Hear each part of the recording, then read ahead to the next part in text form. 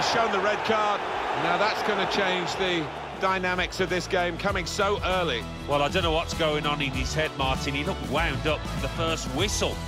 And it's resulted in this early red card.